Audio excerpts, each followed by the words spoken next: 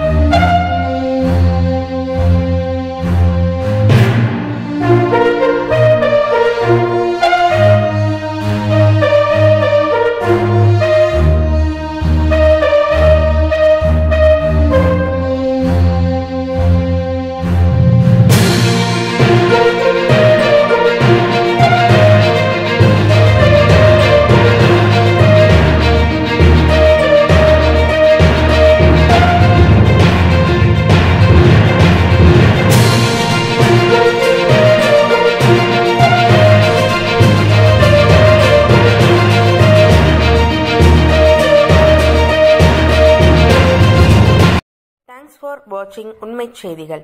நெல்லை செய்திகளை உடனுக்குடன் தெரிந்து கொள்ள சேனலை சப்ஸ்கிரைப் பண்ணுங்க லைக் பண்ணுங்க ஷேர் பண்ணுங்க.